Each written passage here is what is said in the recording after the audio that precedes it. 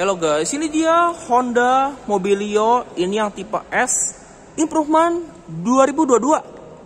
Dan semenjak awal keluar 2022 ini Mobilio tinggal tersisa tipe S saja. Jadi nggak ada lagi ya tipe S sama RS. Dan yang tipe S ini masih ngambil fascia yang facelift pertama 2017, tapi ada sedikit beda fitur. Untuk harganya dia 230 juta 400 OTR Bandung.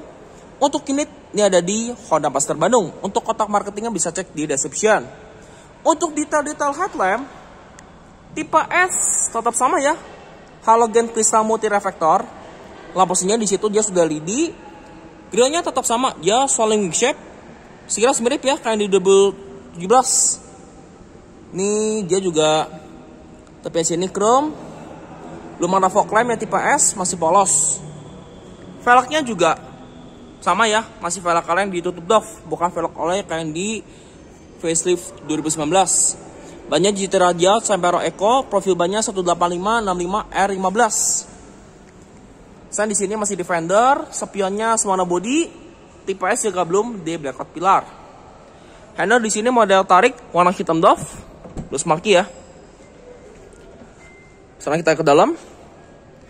Untuk door trim yang tipe S ini full black full hard plastik karena di sini hitam doff untuk power window posisi yang auto cuma sisi driver di sini ada window lock ini central lock electric mirror tapi belum automatic track.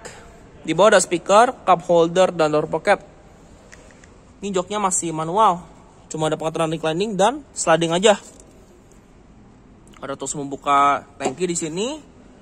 Ini yang transmisi manual. Jadi manual aja nih yang mobil S ini nggak ada matic untuk buka mesin dia dari sini masih dummy semua. Ini cup hold laci penyimpanan ya.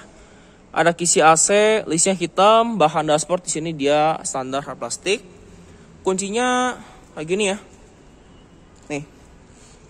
Belum ada remote-nya yang mobil S, tapi kuncinya udah immobilizer. Sekarang kita coba startup, nyalakan kondisi pintu terbuka. Udah Pitron nah nih. Ya suara mesinnya ketika di starter. Speedometer juga sama nih. Dia cuma ada odometer tripnya cuma satu ini rata-rata konsumsi BBM pengaturan jam baik lagi ke odometer. Pendaranya warna putih. Di kanan sini saklar headlamp belum ada saklar fog lamp. Di kiri sini saklar wiper sudah intermittent ada wiper belakang setirnya kayak gini model tiga palang. Maksudnya kayak gini. Airbagnya cuma dua. Untuk pengaturan setir dia lihat aja ya. Belum teleskopik. Setir masih karat nih bannya untuk di sini dia ada handgrip bagian driver. Sun visor di sini polos untuk di sini ada lampu baca kayak gini, sapian tengah, day night view. Ada kisi AC 2 biji, hazardnya di sini. Screen sini hitam doff. Nah, ini yang beda nih di head unit. Yang ini tuh cuma ada input USB sama aux, tapi nggak ada CD-nya nih. Ini kayak gini, dia channelnya 6. Storage-nya dia ada AM, bisa Bluetooth juga. Nih aux dan radio lagi ya di sini juga AC-nya tetap digital tapi lebih auto climate control. Untuk pengontrol sumber ini ada ke badan dan badan ke kaki. Nggak ada ke kaca depan atau front defogger. On off AC di sini ini buat maskulnya. Belum pada pen close air. Di sini ada laci penyimpanan terbuka satu power outlet laci penyimpanan dengan double cup holder. Transmisi di sini manual dia 5 speed. Kayak gini ya Nah, yang baru nih kalau saya mundurin dia udah ada sensor parkir. Park brake sini mechanical, ada satu kebuah cup holder. Joknya fabric warna hitam. Seatbelt sini fix, handgrip di sini fix, sun visor sini polos, belum ada vanity mirror. Ini airbag sisi penumpang depan, bahannya di sini full black. Laci di sini standar ya, belum soft opening, ini layout dari dot trimnya sekarang kita lihat ke baris kedua yuk.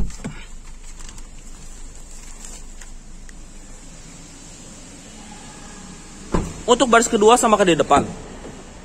Dot trimnya sama ya. Di sini full black full hard plastic. Door handle di sini jack chrome. Speakernya bukan di sini. Dia cuma ada cup holder dan door pocket. Untuk akomodasi mobilio ini lega ya.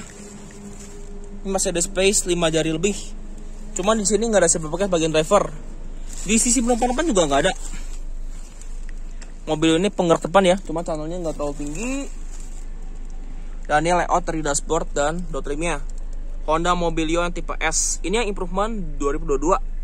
Yang baru tuh di head unit ya, jadi nggak ada CD lagi nih.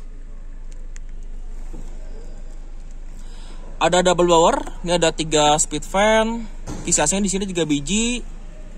Yang dibakar di sini model fix, seat belt belakang tetap ada, masih kelihatan tonjolannya. Tapi headrest tiga-tiganya adjustable nih. Kursi pelipatannya 4060, ada lampu baca belakang, kursi baris kedua nih nggak bisa sliding ya fix. Tipe S ini tapi headroom baris kedua masih lega nih. Tuh. Ini double door malah ada ya. Kalau di BRVS kan nggak ada nih double door yuk kita duduk ke bagasi belakang sebelum kita coba duduk di baris ketiga. Rem belakang di sini tromol. Ini ya desain stop lampnya juga masih bohlam tapi nggak ada emblem nih yang baru nih jadi polos ya. Ini Honda Mobilio udah dapat sensor parkir nah ini yang baru nih dua titik. Covernya di kanan sini penggerak depan. Dia ban serepnya di situ. Untuk lampu plat nomor di sini masih bohlam untuk buka bagasinya pakai handle.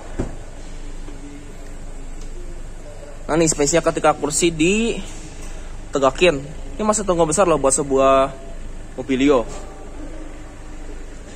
akses ban serep sini nih. Dia juga ada nih ya sepeda.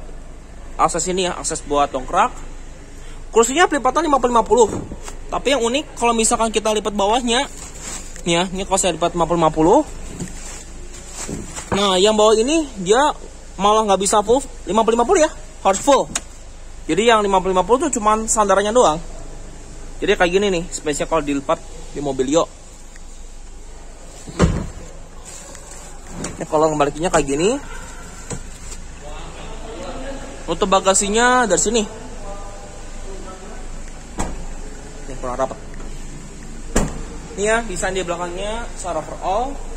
Honda Mobilio ini yang tipe S. Ini improvement 2022. Jadi yang baru nih nggak ada yang belum S lagi ya sama VTEC jadi hilang. Di belakang sini dia dari wiper, cuma nggak ada di defogger. Ada emang stop lamp, antena di situ short. Untuk buka tankinya dari sini minimalnya tahun 90 besi tambah timbal untuk bars ketiga akses dari sini dia one tumble ini ya nih duduk di bars ketiga dari mobilio ini kalau posisi kursinya kayak gini dia masih ada space tapi nggak terlalu banyak sih. Jadi nggak ter, agak terbatas. Spesial itu tiga jari empat jari. Untuk posisi duduknya nih agak jongkok sih tapi lantainya memang nggak terlalu tinggi ini seat belt tiga titiknya di sini. Nggak ada grip di belakang. Ada cup holder speaker di situ di belakang. Seat belt tetap ada masih kelihatan tonjolannya headrest ya gistable dua kayak gini. Di patang kursi dia 50 50 yang di sini kursi step paling rendah ya. Ini paling tegak. Headrest ketiga dia pas-pasan sih. Saya tinggi 178. Ngasih sama nih, ada cup holder, ngaji penyimpanan dan speaker. Yuk kita ke depan.